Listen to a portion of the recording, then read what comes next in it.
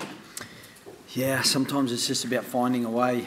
Um, we, we looked like uh, we did lack a bit of co- cohesion, but I think the players were working hard. I thought the first quarter we, we did really well. Um, scored a couple of really nice tries. I thought Joey was it was a bit special the way he cut the line and, and got that pass uh, superbly into the hands of Darren Sweetnam who, who finished comfortably and, and then Dave Kearney got in the other corner.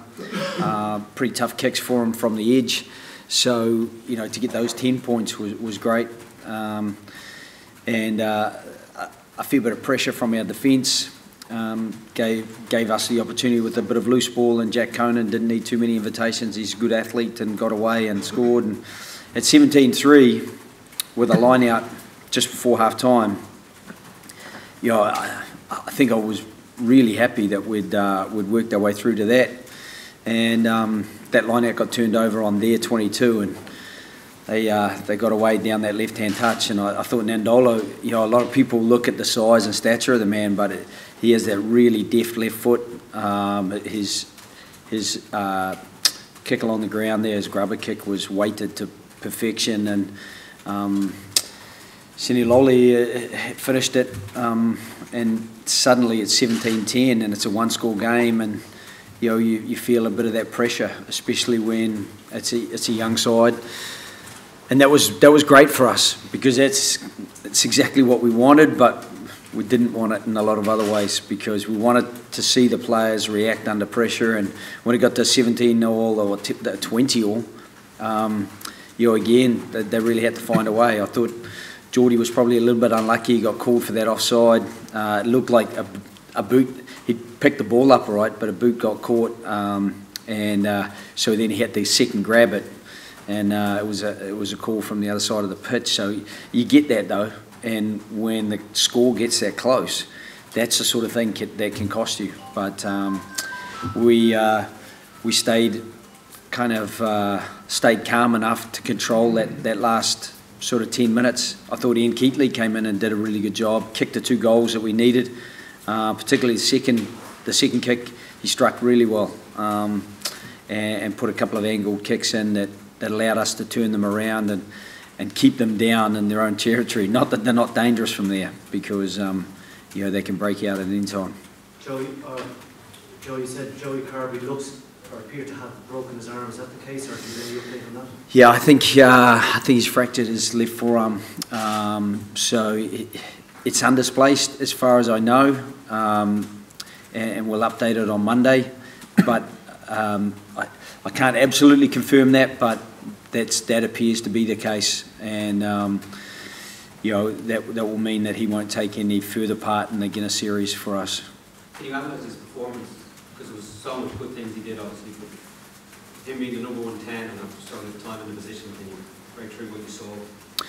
Uh, yeah, I, I thought his ability to organise others is is coming along. I think that's one of the biggest responsibilities of a ten. That, you know, I think his own game was really good. I thought his cross kick to Dave Kearney from his own 22 was pinpoint perfect. Uh, we didn't maximise on the back of it, but uh, you know, just his his vision is really good. Uh, there's the, the kick where we thought we'd got away and scored, and, and Andrew Conway got his hand to. Um, you know, again, it was it was really well uh, placed for us to be competitive up at it, but uh, his his passing game, I, as I said, the pass to Darren Sweetnam, I don't think you'd see a, a, a much more accurate uh, pass. And um, the threat he poses at the line himself, I thought he ducked and dived and, and asked a few questions of the Fijian defence, and he, he's brave, potentially to a fault. Uh, because he, he takes no heed of who's in front of him, if there's a half half a space or things have been closed down outside him, he'll take the responsibility of carrying the ball. He's gone for a while, but is there anything you can do now with the, the ongoing problem of him playing fullback? And um, when you, the value obviously of him getting in more time than half is obvious. Yeah, look, it, it is what it is. You know, it's an unfortunate situation for uh, for us, but uh, I totally understand. You know, they've got Johnny Sexton at Leinster. He, he plays and. Um, Rob Kearney was injured, so Joey was had taken the responsibility of fullback, and you know, I just appreciate that he gets game time, and, and so he, he's in good um, he's in good condition to play. Uh, yeah, I'd love to see him play ten more often. I, I think that would help his development, but uh, I also know it's a needs must situation, and there are some really competitive games coming up. Uh, that you know he he is such a good uh, you know young player, but he's he's such a, a team orientated character. He, he will play anywhere, and um, he'll continue to do that if it's the best for the team. And uh, I totally understand that. injury um, I, I, don't think there's too much else. Uh, there's a few bumps and bruises. There were some quite big hits out there. Obviously, uh, Ken is a little bit sore, um, but I, I, think I think everyone else came through reasonably well. I think Rhys is a little bit sore, but um, it is only soreness. I think Joey is the only is the only injury that will um, cause him not to be involved next weekend. What did you make instruction to try a few more riskier looking passes?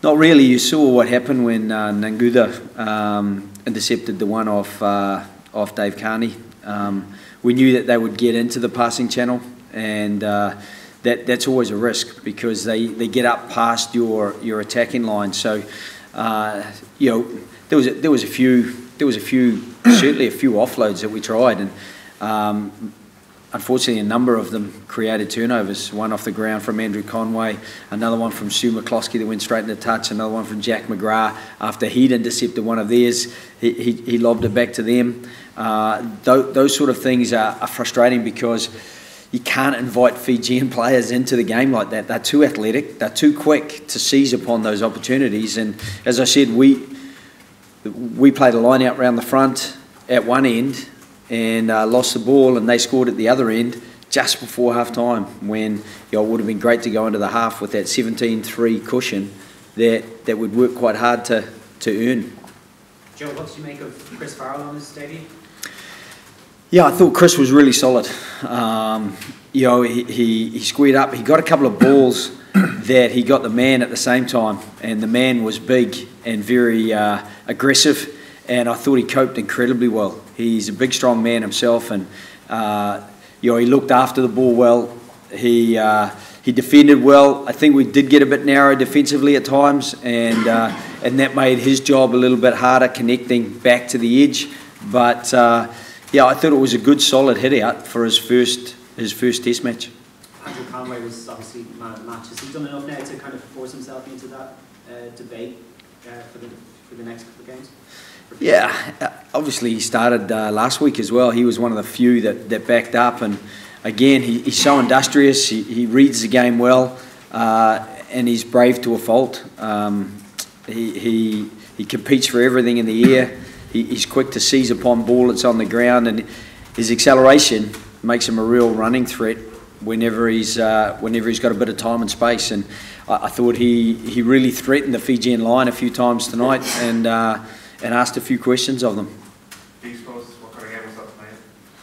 Uh, yeah, it was tough, uh, very physical, um, probably frustrating at times due to some of the errors which Joe spoke about. We we knew that handing them uh, opportunities with ball in hand off uh, unstructured play would be uh, inviting them into the game, and through our own fault, we probably uh, did that a little more often than we would have uh, liked to. Um, but obviously, pleasing to get the result at the end of it and uh, showed some character to dig in and uh, get the scores we needed at the end.